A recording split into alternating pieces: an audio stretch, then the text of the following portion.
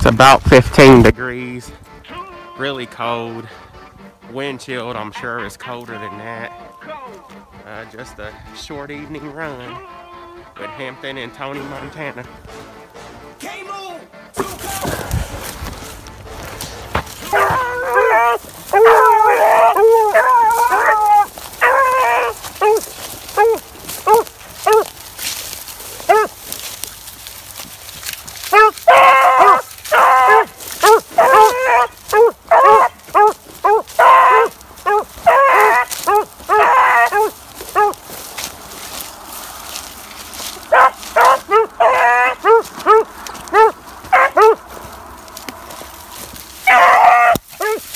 Ah!